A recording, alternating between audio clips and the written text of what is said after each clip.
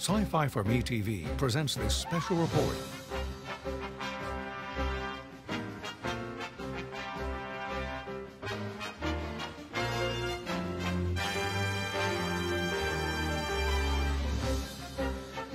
All right, ladies and gentlemen, we have more updates here in the bunker. Jason Hunt with the latest and the Comic Con cancellations. So let's get right to it. We do have a few that have been postponed. Let's start there. The Porterville Toy Anime Comic Con in Porterville, California, as well as the annual Ghostbusters Day that was scheduled for June 8th.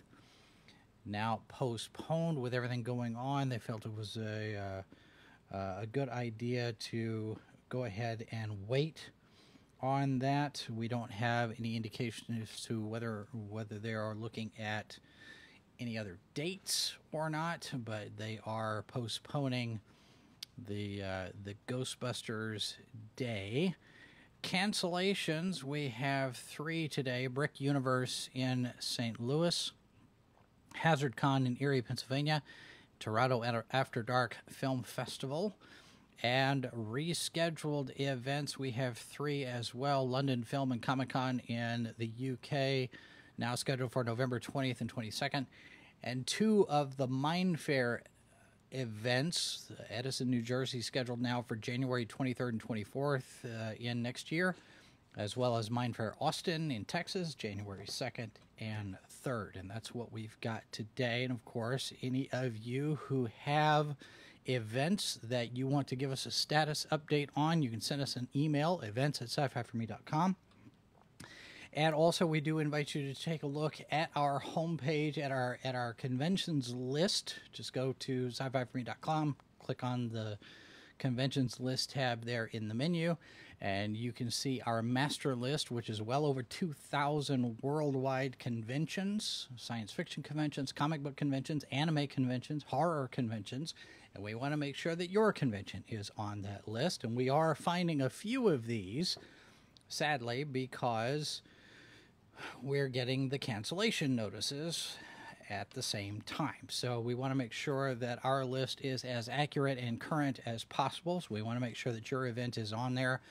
And we also want to make sure that we have the status of the event uh, as up to date as we can. So we're monitoring emails, we're monitoring uh, social media, and making sure that we get everything set properly uh, so we have accurate information. Now, in the meantime, want to invite you also to check out our Indiegogo campaign, which has gone live this week, and you can get there by typing in sci-fi4me.tv. That will take you directly to that uh, project, and you can see the information there.